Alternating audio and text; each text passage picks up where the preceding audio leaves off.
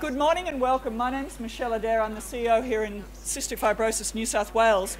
Uh, for those of you that are a part of our New South Wales community, please make sure if we haven't that, that you, uh, you give me a shout and say hello. It's always lovely to meet you. Uh, very often, though, I won't recognise you if we're connected on Facebook because so many people these days have got profile photos of their dogs or you know other things. So uh, if we've not had a chance to say hello, please do. And from those of you outside of New South Wales, a very warm welcome. Um, a number of times already, people have said this is their first conference, or of course, their frequent flyers. And the common theme is consistently what a wonderful, friendly, welcoming community this is. And I couldn't echo those words more strongly enough. So it's great to have you with us, and I hope you've enjoyed the program. In considering travel with CF, it's a very topical issue. Uh, I think that's fairly evident by the number of people in the room. And it's one of those things that, as families, and particularly for young people these days, we take for granted there is an expectation at some point, if you've not even travelled as a child with your parents, that at some point you'll finish school, you'll do a gap year, you'll graduate, you'll go backpacking for a while, you'll do that.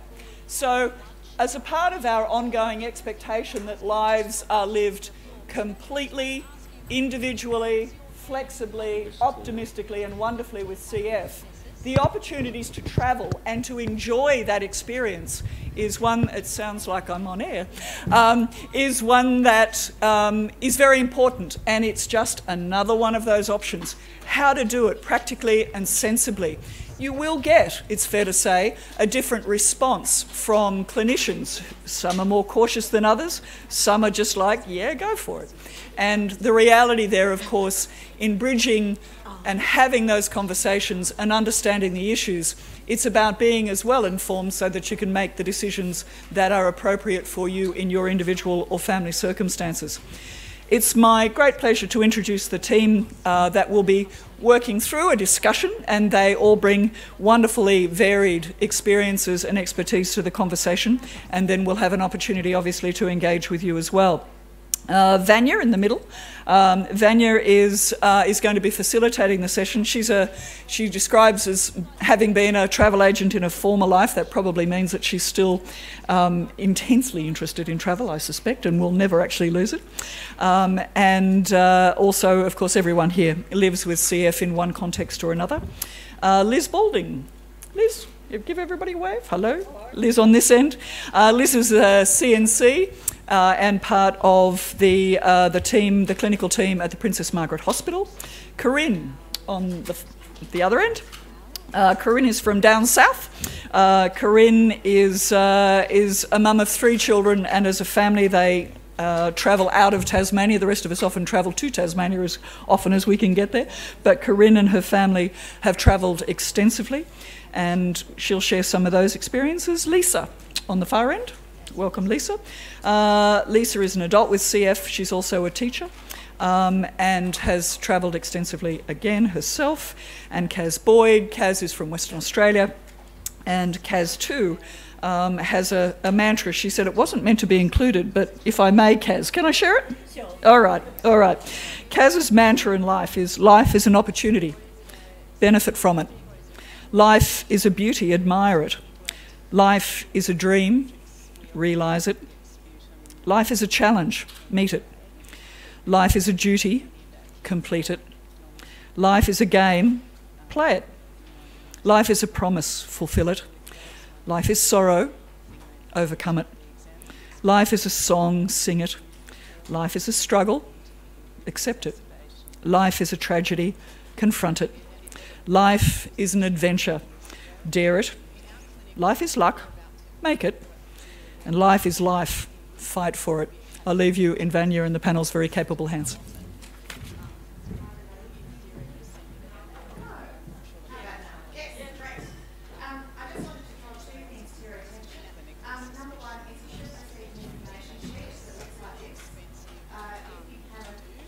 give a wave, and this charming young man here will come and hand it over to you. Um, the second thing is uh, in your packs that you would have received as you registered um, today or yesterday, you will have a yellow sheet like this. That's the feedback form. CF Australia is very keen to hear what you would consider, you know, informative about what you've heard over the last two days. Um, please fill it in and hand it in at the registration desk before you leave today.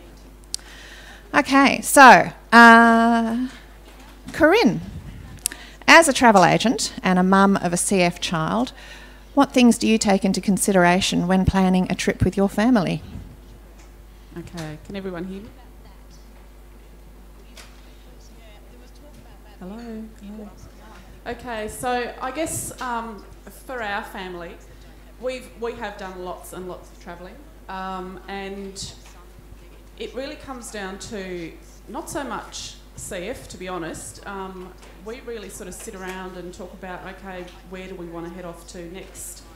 Um, and then, you know, depending on what the kids come back with and go, you know, we, we sort of discuss it a bit further.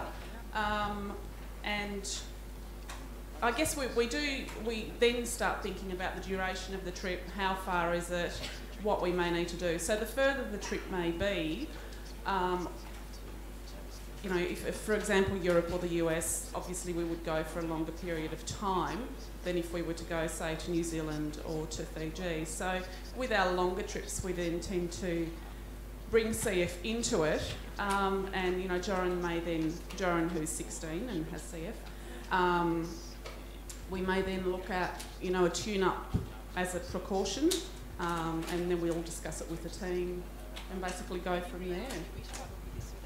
And Lisa, you've lived in the UK. You've done a lot of travelling in Australia and overseas. Is there anything that you consider before planning to go? Um, I, I, think there's a lot of contingency that goes in. Um, I was just saying to these guys here, we having a bit of a laugh silliest trip I planned was Morocco in the middle of summer. It was 55 degrees during the day, so that was probably the silliest thing I've done. But um, yeah, get it, getting those those plans in place and researching what you want to do and really deciding what you want to do and making sure that you put a, an extra day in here or there for rest and knowing you know if you can go three or four days before you need a rest or if you need a rest every other day really putting that into a plan and having that as a contingency if we go. Great. Kaz, you've travelled both before and after your transplant. So is it different now in choosing where to go?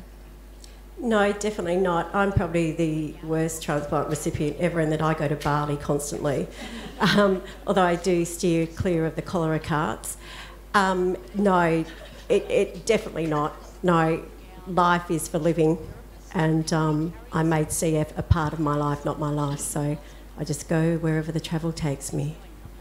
Liz, when one of the families comes into clinic and says they want to go on a trip overseas or in Australia, what are the things that the CF team thinks are important when making decisions regarding travel? First of all, I consider myself a, a, travel agent for you people, and, and the rules are that you have to take me. Now, that's never been successful, so I have to rethink that one. Um, I, th- I think really what's so important for you guys is preparation and thought. Um, I come from the PEDS hospital, so we like, you know, I think it's really important that your children are well. Give us the opportunity to make your children well so that you all can enjoy your time uh, away. Um, and that includes time for maybe an, a, a tune up, somebody mentioned that before we, are not supposed to use the word tune up anymore, so I didn't say that. Um, uh, and and you know maybe just even even the top up with some uh, nebulized antibiotics. So I think you know preparation and a bit of time for us to get organised. We have a cut and paste letter that we uh, send with people. That's not a problem unless I get the phone call about four o'clock uh, we're actually leaving the next day. Mm, yeah, right, okay. And you guys do it all the time, all the time. Um, and that's fine if you've got email. It's not fine if you haven't. And and you have to come and park at the hospital to get your letter. So it's really in your interest too to prepare very early. Okay, so road trips and camping are a favourite part of life for Australians. Um, Corinne, can you tell us about your experience with your family? How long were you on the road? Um, back in 2011, we took off on a two-year trip around Australia, um, and that's that was probably our biggest trip that we've ever done in the sense of being away from normal clinic, um, and it did take lots of preparation. So basically, it was the, the preparation was the key, um, and we spent most of our time in the outback. So we're not big city people, um, and you know we try to avoid big city areas. So we had made contact at, with our clinic team. Had had a um, tune-up prior to leaving, and we had organised plenty of medication. We had refrigeration, so that was the, a, a main thing for us. Um, so we could keep his pulmozyme cold. Um, we had things like um, clinic details for each state, and our clinic coordinator had made contact with all of the clinics, major clinics around Australia, just letting them know what we were doing um, in case we needed to contact them. Um, at one stage, we did need to contact WA, and, and we saw Liz several times, I think. Um, we also um, basically made sure that we could pick up, for example, pulmozyme, because we could only get three months' supply back then at any one time. So we had collection points in Darwin and in Perth. Um, so when we were coming through, we would ring ahead and just make sure that we could it was all in order, so we could then pick up another three months' supply. Um, but you know, saying that it was the absolute best time of our lives. Our kids still talk about it to this day, and it, we've now been home for three years. Um, they did not wear shoes for two years. They, you know, the washing was non-existent um, because you know they lived in shorts and t-shirt, and we homeschooled them. Um, they were maybe doing schoolwork two hours a day, um, and the rest of the time, you know, they were down the beach snorkeling, they were riding bikes, they were running amok just like kids do, and it was away from technology, away from the stresses of life, and, and like I said, it was the best time of our life. Thank you. And so, Lisa, you've done lots of travel up the east coast of Australia, um, including by yacht. Um, where did you go, and did you find it easy to manage the CF side of life?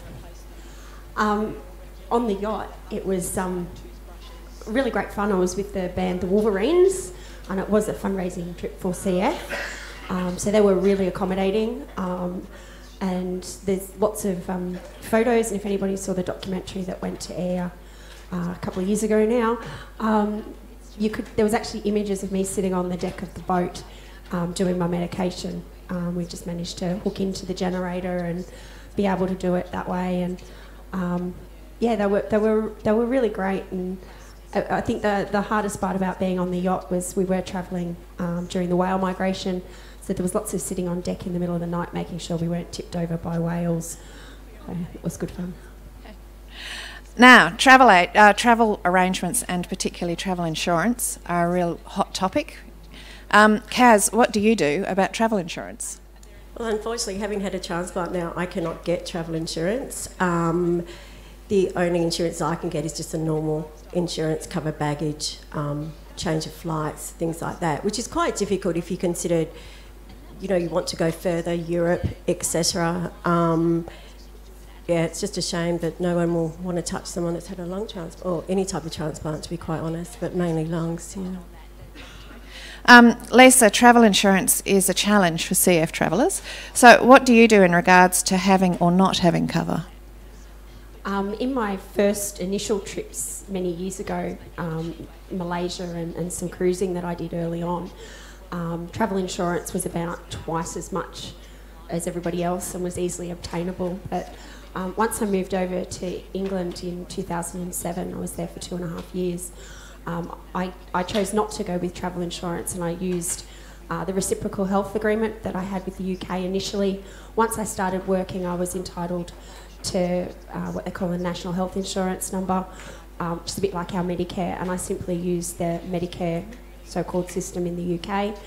Um, the UK then has agreements with Europe.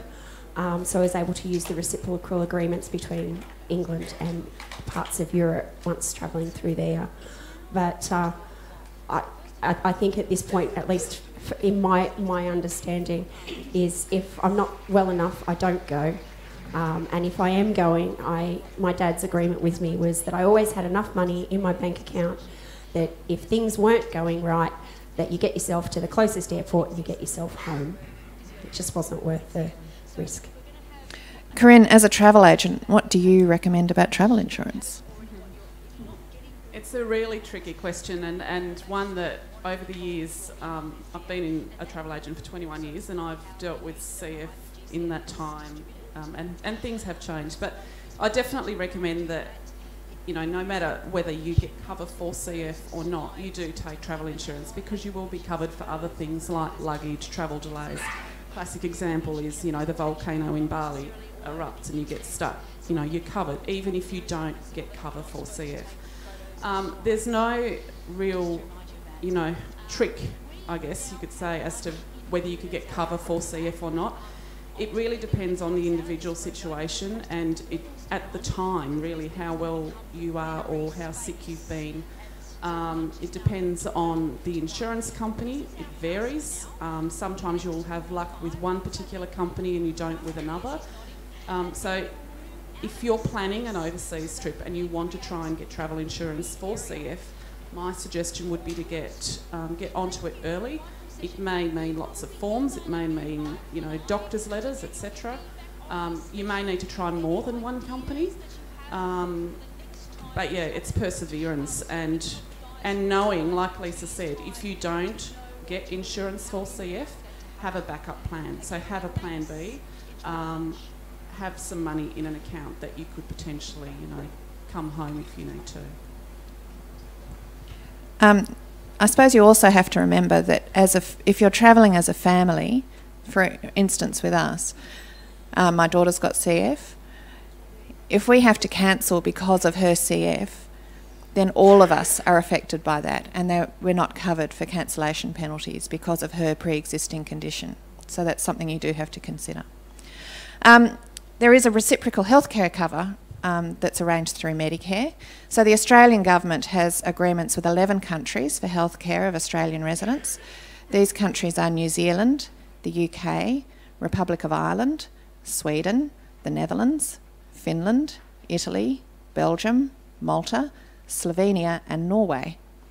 We've got a bit of information about it for you in the handouts. But basically, it means that Australian residents, so it's not just Australian passport holders, it's Australian residents, um, can get help with the cost of essential medical, medical treatment when visiting these countries. You must travel with your me- Australian Medicare card to prove that you are part of the Medicare system back here in Australia. Um, otherwise, they won't be able to help you. Um, there's a bit more detail about it on the handouts, and I strongly recommend that if you want to look into it, you have a look on the website because as with everything, things change from time to time. Um, Liz, you have had patients who have been able to use, oh, sorry, have you had patients who have been able to use the reciprocal arrangement? Uh, yes, I have. Um, and you pinched my line because I was going to say, um, although we do have reciprocal arrangements, as with everything with the government, it is a movable feast. So you need to check the updated section. Um, I, I, think it is very different um, you know, people travelling with uh, PEDS age, uh, you know, children as opposed to maybe not so well uh, adults. Um, our families seem to have come back unscathed. Uh, some of them have uh, used the UK system and others have used the Irish system. We have a huge contingent of, uh, we've got an Irish invasion in, um, in WA, which is great fun. Um, yeah, gosh, I, I, love the way they speak. Those, of, those of you who know me know that I speak, and, and I love listening to them actually. um, so, so look, once again, I think it's really worth checking each time you go. Don't rely on the information from last time, but it does seem to work. I was just talking to the Kalydeco people, and it would seem that um, you know this is going to be an interesting. Um, an interesting uh, thing for obtaining medication. And it would seem that, you know, at times you will need to come back to the UK to access these sorts of things. So these sorts of things are, are things that you need to find out about. So explore, not just the world, but explore before you go. Um, again, we stress that you shouldn't rely on the Medicare arrangement for your um, insurance cover while you're away, and it only um, covers you for what they call essential medical treatment. So, um, yeah, have a look at it, and certainly read very carefully the um, policy document that you've got regarding your travel insurance, just to make sure you understand the limitations and what you're covered. Um, so, medication logistics. A big part of everyday life in, with CF is the medication. When you're travelling, there is the added issue of caring for and carrying the medication with you through customs. So, Liz, what does PMH, oh, sorry, that's the Children's Hospital in Perth, um, offer or recommend to the travellers as they head off? Okay, well, I mean, it's, it's been interesting with the, uh, the Bali cloud. You all know about that? The volcanic ash? You must know about it, yeah? I know we live on the other side of the world, but you know. Um, um, uh, we, we had some parents over there recently, and you know, I mean, the thing is to take plenty of medication with you in your hand luggage. She actually took over a week's worth in excess of her requirements. However, we had a ma- massive phone call, you know, uh, and, and yes, it must, um, it must be really scary uh, being over there. And what on earth do I do? Um, anyhow, fortunately, the, the, the, the, cloud the cloud decided. The karma arrived and sorted it all, and uh, you know we were lucky that that all came together. But I mean, you know, that's that I would consider a week's additional uh, medication reasonable planning. So you know, it's really, really very, very difficult. Um, our paperwork, uh, I, I, the letter that we cut and paste doesn't actually have the diagnosis. And I mean, I, I really don't know that it's anybody's business what your child or your own diagnosis is. Um, we just say that you've got a, a severe respiratory condition that needs um, some care and attention. We include medications on there. But it seems to me, you know, I, I mean, I, I, remember taking a, a, a, child from Perth to Melbourne on the plane, and the, and the flight attendant came up to me and said, Can I know what's wrong with this child? And I said, No. I thought, listen, Trolley Dolly, you do your stuff and I'll do my stuff, you know? Seriously. I must admit, I was quite gobsmacked. And she said, Oh, I am a nurse. Oh, congratulations, so am I, darling. Um, so, so, yes, but as I've said before, make sure you give us time to get your letter together. Um, please, please. Um, but yeah, I think that's the main, main thing, including your medications, have enough to travel with, uh, appropriate um, storage facilities, carry facilities for them, backups of all your nebs, tubing, blah blah, you know, all this all this stuff you need to you need to have contingency plan. And if you're taking a little, you know, a neb pump, make sure you've got a spare little black doodah thingy, the connection because these are the things that kids notoriously um, lose. I'm going to say the kids lose them because we don't have any kids here, um, but you know they do get lost, and these things are like gold to get hold of anywhere else in the world. So yes, there we go. Thank you. Um, Corinne, what have you done? Well, you have recommended travelling with copies of your Australian scripts. Why would you do that? Um, it's really just a precaution. Um, we've had a couple of instances where we didn't early on, um, and basically, often, I mean, when you're in a different country and they don't necessarily have the medication, um, you know, if you go to a pharmacist, you show them the, the script, they will be able to either, in some countries, they can dispense the script, for example, Ventolin. Um, you know, they can. In we had an instance in Singapore where they could just give you a, a sorry, they could dispense the script.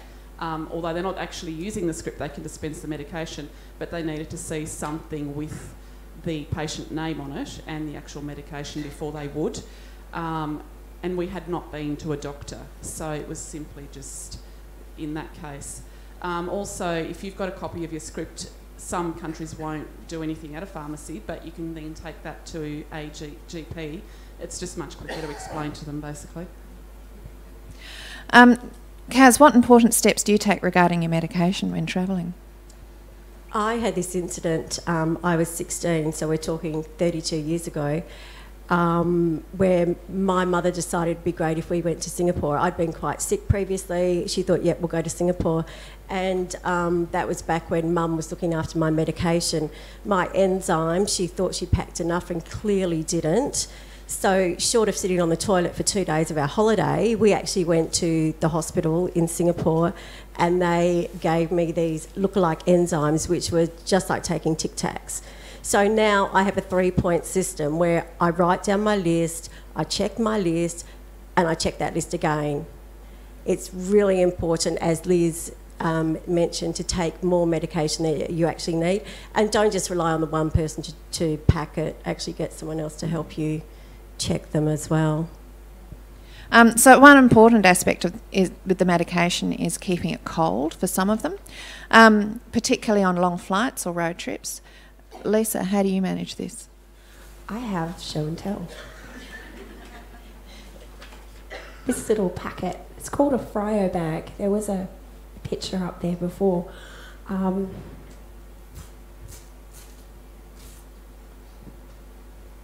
the inner packet is um, it's full of crystals and you, you just hydrate it in water. Um, and as those uh, crystals dehydrate um, unlike lots of chemical reactions that make heat it removes heat. So it's, it's a cold reaction.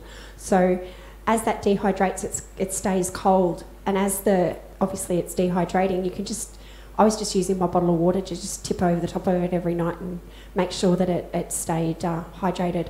Now, that, that will keep your medication around 8 degrees or thereabouts, depending on the external temperature. It's not perfect for pulmozyme for extensive periods of time. I did have a chat with my um, pharmacist at the hospital on Tuesday when I was at clinic, and I said, "How long would you put? You know, how long would you keep pulmozyme? You know, not completely cold?" And she said, "Oh, a couple of days, but then you really need to get it back colder again. So, you know, on that logic, that that's that's good for any sort of flight to get you to a, a hotel, or in my case, I was um, backpacking, so it, it wasn't perfect, but it was the best option that was available, and I think is still the best option that's available. Just to give you an idea about um, the, the capacity of these, I had um, two types of insulin um, and enough pulmozyme for seven weeks, and it took two of these. So they do expand quite a bit. It's in your, yeah. R I O. It, there's information about it in your handout. Um, I'm, I'm happy to pass it around, and you can Yeah. feel that it is in fact actually cold. I know they sell them in Australian pharmacies, so um, go on the website and have a look. There was actually a list of um, Australian pharmacies where they're available. Um, you do have to make sure. I'd strongly recommend having a chat to your pharmacist or your CF team to make sure that the medication you have is appropriate to carry in something like that. Um, so, if you don't have a Frio bag, Corinne, how do you cope? Right. Well, we we usually put our um, all our medication always comes with us on, in our carry-on. We do not travel with it in our check-in um, luggage simply because of the chance of it getting lost. Um, there's never a hundred percent guarantee that an airline will actually manage to get your check-in bag, even if you're just on one flight um, to the destination. So um, we always do it in our carry-on bag. Um, and we have just a small esky that we generally use, um, just with some ice packs like the, the flexi ones. Um, most of Jaren's meds are actually now no longer require refrigeration apart from, from his pulmozyme. Um, everything else is now either the dry inhaled powder, which is fantastic. So, yeah, And so, um, I suppose you've touched on it. Is there anything else you do to manage the risk of losing a bag with medication inside? So, you, do you spread it across? I mean, there's what five of you travelling. Do you spread it across people's bags, or is it all generally in one bag? We generally now Joran just takes it in his backpack along Okay. with his um, aero neb, which is just that's what he uses all the time just to do his um, nebs. And yeah, so he just carries it all. It's easy when we get to customs. So if, you know if they do want it, we we always say that we're carrying drugs, and they go, "Is that medication?" Yes. and then uh, generally, actually, we're not actually needing to show them anything. So, but if they were to say, "Well, can we have a look?" then we simply just have to open one bag, and it's all there. So. Mm. Okay. Um, another big issue is managing physio on the move. So sometimes it is really on the move because sometimes um, you're constantly changing location if you're touring around. So, Corinne, again, how do you guys cope with this?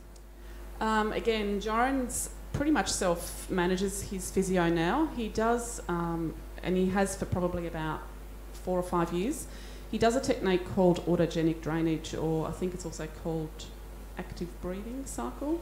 Um, but yeah, so he does his autogenic drainage, which he can basically do anywhere. He can do it sitting on a chair, he can do it watching TV. I don't have to, there's no hands on from me. Um, he does it when he feels he needs to, um, and he does it quite well. Um, he's been used as guinea pigs in physio sessions and, and to show other physios how it's done, so it's quite funny. Um, and you can actually hear the plugs moving up um, when he does do it. Um, sorry. Having a nice lunch? Memories.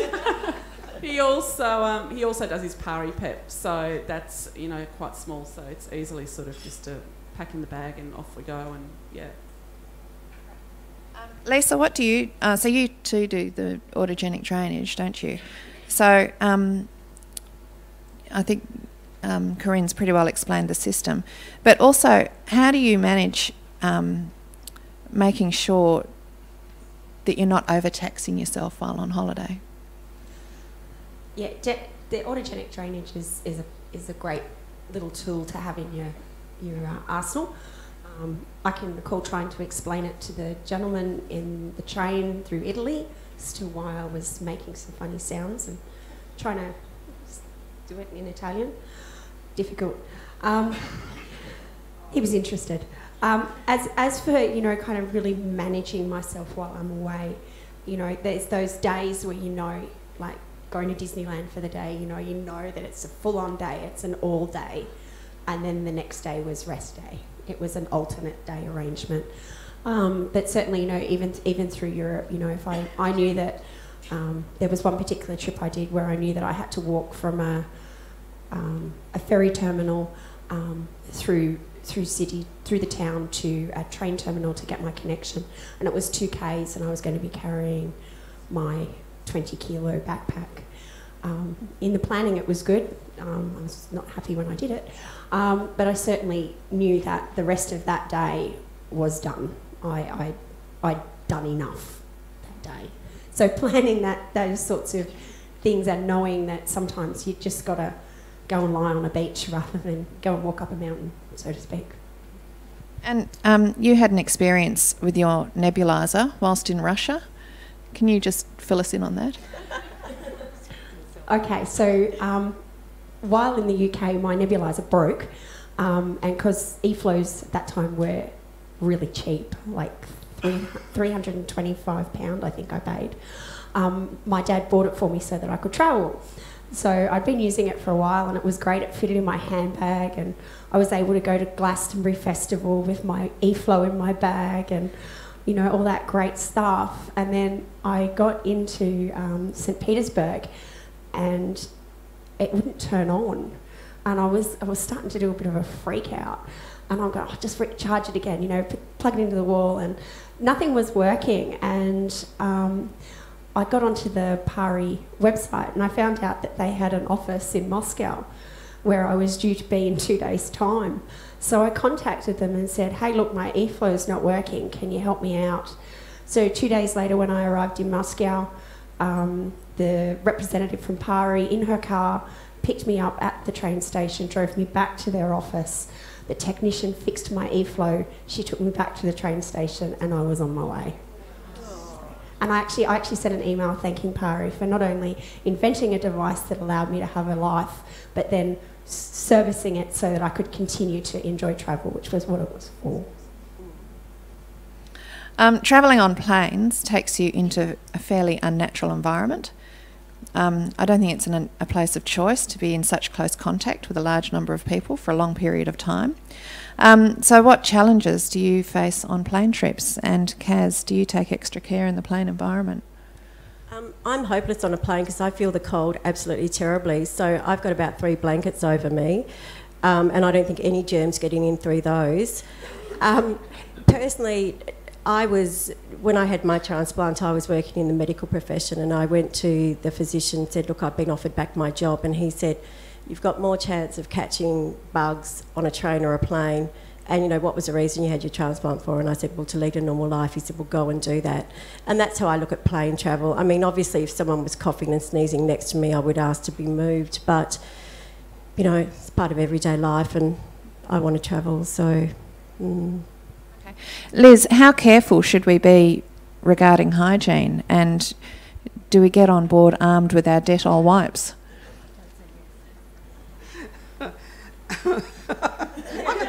I'm, I'm under instructions. Look, I mean, planes are, are seriously the worst places in the world you could be on. Um, I would suggest if you know, make sure you've had your flu shot. Did you hear me? Flu shot. Um, that's that's great. Uh, look, I, I think the nurse in me says, goodness sake, you know, be, be very, very careful. And we've got families who use masks a whole bit.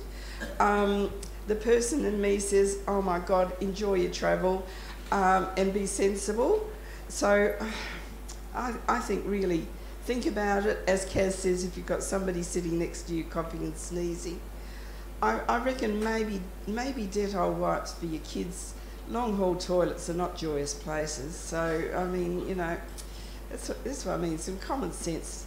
Even even I now take um, Alco wipes, and we were flying up. Oh, we're doing one of our outreaches, and one of our consultants had to help out. Liz, have you got any Alco? And you know what? I had the wrong handbag. Seriously. I mean, a nurse with the wrong handbag, how dare I? but guess what? All Liz's bags have got Alco in them for maybe maybe the physicians, but maybe anyone else. So look, you know, enjoy life. You know, seriously.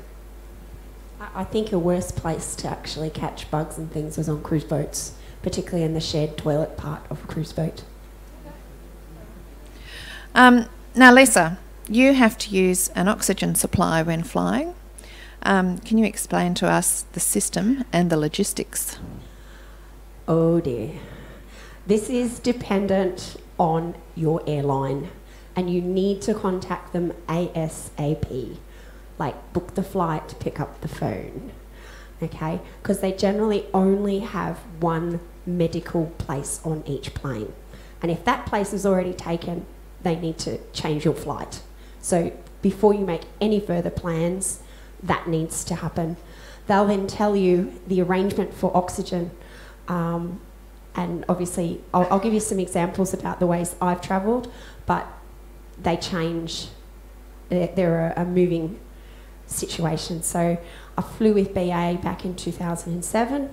They simply did the nasal prongs to the roof of the plane and tapped into the oxygen within the plane, and that was really easy, really awesome. Um, Etihad um, delayed me in London for 14 hours because they've used oxygen cylinders. The oxygen cylinders hadn't arrived from Abu Dhabi, so I had to wait for them to arrive. Um, when they did arrive, I did get the extra seat next to me, and I had two 10 kilo oxygen cylinders sitting on the seat next to me. Um, and I was placed in a position that was not brilliant. Um, and it, partway through the flight, um, half asleep, a gentleman got his toe caught in the pipe, pulls the oxygen cylinder off the seat, yanks my head to the side, and I'm now awake. Uh, the oxygen cylinder landed head down, the top popped off it, and there's an oxygen cylinder on the floor of the plane hissing. And all he could do was run away. I knew where he was. Um, the other thing that happened through a Delta flight, a couple of years ago. We've got we've managed to get the guys to loan us a little pump. Is um, a pump similar to this one. So this this has to obviously be part of your carry on. Um, he did show me how to turn it on. So it's just a case of turning it on and selecting your flow rate. Now the issue with these is obviously it depends on how long your flight is. There was one out there, I think you said it was two hours, was it? This one's about four and a half to six, depending on your flow rate. When I travelled to um, America, being a, a pretty long flight, I was actually given two spare batteries. So I had the pump plus three monster, you know, old analog mobile phone paver uh, type batteries to carry as well. Um, and although the machine has a mute button to stop it making noise when it's not happy, um, it does make little beeping noises, and the people around you get a little bit freaked out that you've got this pump on the plane. So sometimes it's good to sort of just say to someone next to you, "Oh, look, I'm all right. I just my lungs don't work so great, so I just have to put this machine on, and I'll be okay." And they tend to be okay with that. Thank you. Um, now, things don't always go to plan, so you can expect that things might go wrong whilst you're away. We've heard from Lisa about her agreement with her dad for some money on a credit card that can be used in case of emergency travel. Um, Corinne, how did you and your husband Daniel plan for something going wrong on your Australian road trip? Um, we we basically, from the moment we planned to set off um, for two years, we decided that we would have a separate account with basically emergency money in that um, in case we were somewhere in the remoteness of it all and we needed to come home um, or basically John needed to see um, a doctor or clinic um, either locally or locally I mean you know it may have been 800 kilometres away um, so we might need you know a short flight or we might need to return back to Tassie and you know admit him um, and it did happen. Um, we were out about 150 kilometres north of Carnarvon on a station where we were living, or living, we were there for about four months working on the station on the Ningaloo Reef. Um, just a little piece of paradise. Um, Joran had been struggling for a while with um, ABPA or aspergillus, and every we would go into Carnarvon every fortnight um, to do our fortnightly groceries um, before we headed back to the station. And he would also um, basically get some bloods done and also um, lung function done at the local hospital. Um, and his FEV1 just basically kept dropping. So at one point it dropped down to the low 40s and he was normally sitting around 75, 80%. Um, so at that point in time, we were like, look, we just, we can't wait any longer. So uh, we made the decision to fly me and Joran back to Tassie, um, which meant a drive up to Exmouth, which was about six hours for us, and then fly home via Perth and Melbourne back to Hobart, um, where we had two weeks at the Royal and then return back to the, be with the rest of the family. So, you know, to us it was simply part of what we would just do. Um, we had you know, it, it was a plan B. It was not ideal because Daniel was left on the station with the other two kids. Um, but it worked and we made it work, um, you know, and that's just, we've always been of that mindset that whenever something, you know, it may go wrong and, and in every, in normal life, you know, without CF, things go wrong. So it's just having that backup plan and, and being ready. Um, Liz, what help can the local the local Australian clinic give when their patients are overseas? Well, thank God for technology. I, I mean, this has well made the world very accessible. Um, we have phone calls, uh, emails, um, etc., uh, from all over the world. Um, we're pretty pretty good at um, getting information, um, copies of um, as somebody up there said, Lisa, I think was, of, of, scripts, etc., etc., just about anywhere. And, and of course, giving details of contact, close contact people. Our centre is very uh, world orientated, and so uh, our physicians have probably got contacts just about anywhere in the world. Um, so, so yeah, I mean, just just it's it's probably easier to actually get hold of your local people to drive it from this end to out there than it is the other end sometimes. So. Um, yeah, you know who we are and where we are. I think it's very useful to use that. Thanks. Um, Kaz, so we're, we're now heading on to the unplanned um, when things go wrong. Kaz, you've got a good example of something not going to plan. What happened when you were in Bali after your transplant? Um, having a lung transplant, I'm on immune suppressant drugs that need to be taken every day. Otherwise, of course, I risk going into rejection. Um, and being as far out as I am, that's something that's not a risk I want to take. So I'm in Bali and realise that I've left one of my main anti-rejection drugs on my bed at home. So there's a major panic. I ring my mum, can you please go get them? Can you ring Sue Moray, who's our CNS at um, Sir Charles Gairdner? Anyway, cut a long story short, they were bought over by a Garuda pilot, kept in the cockpit with him, and delivered by the pilot to me. So I've never been in a cockpit, but the drugs have. Um, Corinne, your Fiji holiday, how did you manage when you left the salt tablets behind? Um, we, we first of all we went to the local pharmacy in Sigatoka, hoping that they may actually sell them. However, they didn't. So the only um, solution was to make our own, and so we basically emptied out enzyme capsules, um, sat on the balcony with a plate of normal table salt, and filled each of the enzyme capsules with the table salt, and there we went. So they were our homemade salt tablets. Excellent.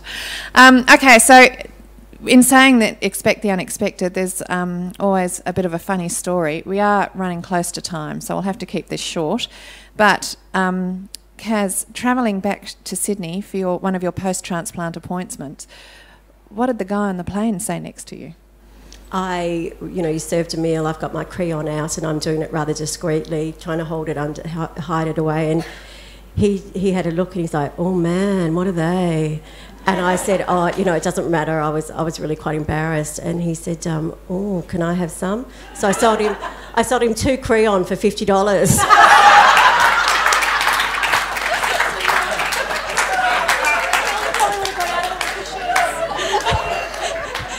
of my friends said. He's probably constipated, and that was like 20 years ago. Anyone want to buy some Creon for $50? Conference price. Okay, we've got time for like two questions. If anyone's got any questions they'd like to ask.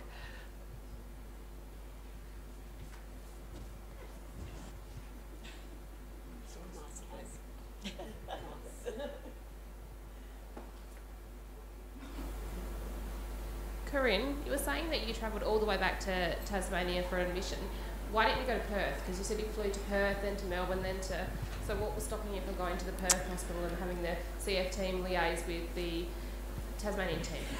Yeah, and we did actually think about that at the time. Um, I guess from our point of view was we would have had to go to an unknown clinic, and I mean, I, afterwards we did actually see Sir, um, Liz and the team in Perth um, after we'd gone back. But it was really for us, it was a matter of either going to Perth on my own with Joran, not knowing really anybody, no no family support, or sitting on a plane for you know an extra seven hours and getting home where there was family, we had support, you know, we knew the team. So yeah, it was sort of a, a, a no thing, uh, no questions really for us. It was yeah, that's just the decision we made. But we could have gone to the Perth um, hospital. It's been mentioned a couple of times about having a tune up before leaving. I guess most people reality are holidays two or three weeks. At that point, going away for such a short amount of time, would you still recommend having a tune up, or is that only for larger, like a Europe holiday two or three months? I um, pre-transplant, I I went to Singapore quite a few times and Hong Kong, so I would um, have my tune up, and then I'd get on the plane, basically pulling the IV line out as we're driving to the airport, getting on the plane, um, and I just found that personally that kept me quite well. Yeah. You agree, Lisa? Yeah.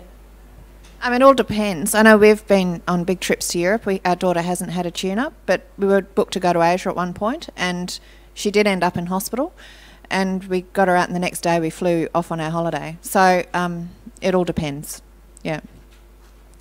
Okay, we hope you've found this session encouraging and helpful. Travel is a great experience and does allow for seriously wonderful memories. Our aim today was that the session would give you more confidence and that you're better equipped for managing CF whilst travelling so that you can just pack your bags and head off. A big thank you today for our panel for your time. Lisa has come in just for today and she's come up from, if you're from New South Wales, she's come in from Picton, so thank you very much. Um, to all of you for being here, and to all of you for being here and happy to share with us your thoughts and stories. Thank you to Liz and Kaz and Corinne and Lisa.